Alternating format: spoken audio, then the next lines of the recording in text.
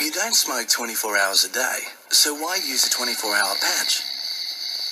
Only Nicorette 16 hour smart dose patch helps control the cravings through the day and gives your body a break while you sleep. Think Nicorette 16 hour patch.